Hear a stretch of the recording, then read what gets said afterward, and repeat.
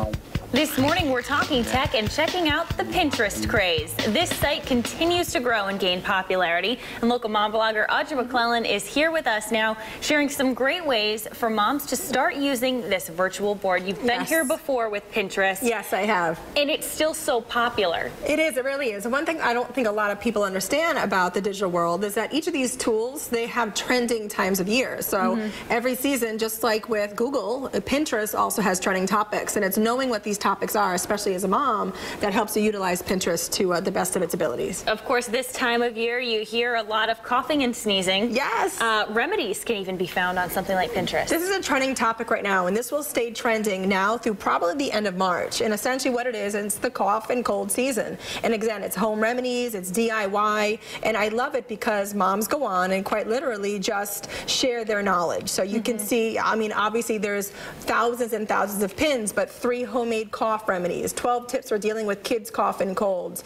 It really does become a hot toddy. It does become a really great way for you to go on. It's like the modern day Google. Go mm -hmm. on, check it out. But what I love so much is that it actually brings you to a lot of blogs. And these yes. women, they have a voice, there's a trust factor there, mm -hmm. and it's just easy to be able to go on to Pinterest and find these really cool, again, do it yourself, home remedies for the cough and cold season. Love that. Something fun also that's coming up is, of course, St. Patty's Day. Oh, yes. The kids can get involved in St. Patrick's Day, too. Yes, and St. Patrick's Day starts trending. It's already trending on Twitter now. Mm -hmm. It will mm-hmm. trend from now until St. Patrick's Day. And what I love about it is that you can go on for your kids and you can find some really great easy crafts, projects that you can do with your kids. And you see a lot of people, which I love too, they actually curate things. So you have 17 plus St. Patrick's Day crafts. Mm -hmm. A lot of mm-hmm. things are visual. You see this rainbow drink right here that you can do with your kids. How to make that. It's actually just food dye with ice cubes. I was looking at it last night, believe it or not, on Pinterest. Mm -hmm. So it's really just a great way, again, for a mom to go on. How can I best utilize Pinterest? Why should I even be on Pinterest? Yes. Really great things that you could do right from your own home, and they give you all these different examples, and I just love that. Very user-friendly. Absolutely. All right, another uh, board that we should be able to uh, to find easily is, of course, giveaways, and who doesn't love a good giveaway? Giveaways, and they're not just on blogs, and that's a great thing, too, and not just on Facebook. You can go to Pinterest, and all I did simply, you can see in these this upper tab right here, I just searched giveaways,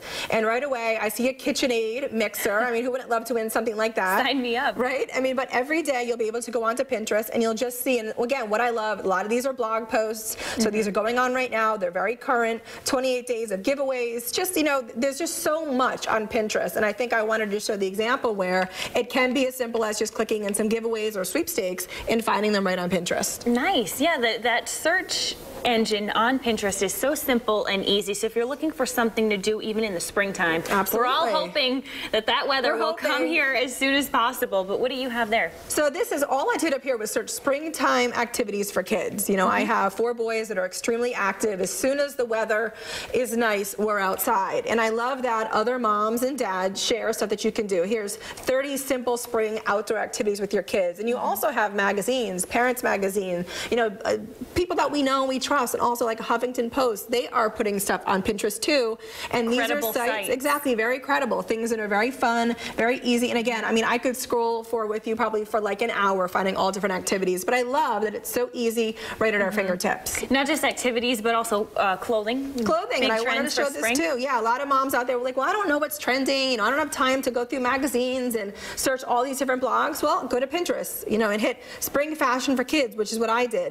And you can go on and you can see very easily beautiful images. Stores will post things just so you have an idea of what's going to be trending for your kids this spring. in Perfect. polka dots, how cute is that? We love so that. So they're all there, very easy, very quick, very practical. So much to look forward to. Thank you as always Thank for you. coming in. If you miss any of these great ideas and tips and boards, we're going to yep. post them all on our website. Just go to WPRI.com and click on the Rhode Show.